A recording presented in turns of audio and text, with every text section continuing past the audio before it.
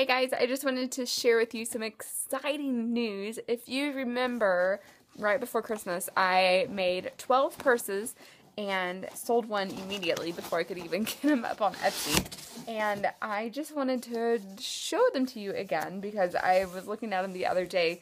Somebody locally had bought one and I got them out and I was like, oh, I just love them. They're so colorful and unique and I just wanted to show them to you. They are up on Etsy. At the beginning of the week, I had 11 purses up there, and now there are only 8 left. So I'm super excited. It's been a really good week. So they're all very unique, different colors. Buttons are hand-picked specifically for each purse after they were completed and made. I did the whole entire purse before I went to the store and picked out the buttons. So they're just a fun little like finishing touch to each of them. I just think like especially right now because the winter has been so super long, like everybody could enjoy some color in their life. No two are alike. Some of them don't even have um, the same fabric in other purses. So you can go check out um, my Etsy shop. I'll put a link in the description below and you can see more details about them, about their dimensions, and um, you can see what all you can fit into them and whatever. Uh, I made them to where you can actually fit iPhone 5 with an OtterBox into these pockets.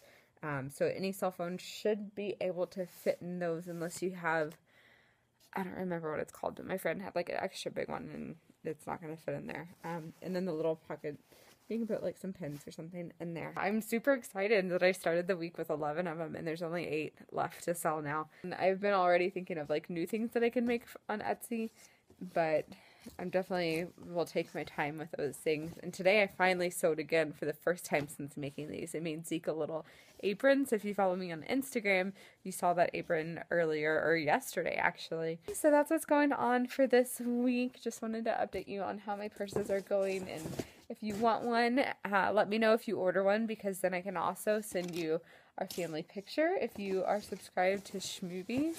Let me know if you do order one. That way I know to send that because that would be kind of weird if somebody didn't know our family and just went onto Etsy and ordered one and I sent them our family picture. They'd be like, what? So, whatever. But I hope y'all are doing great. Subscribe to my channel. I am super excited about a new idea that I will probably share with you next week. So subscribe so you don't miss um, my idea for some upcoming vlogs. And I'll talk to you later. Bye!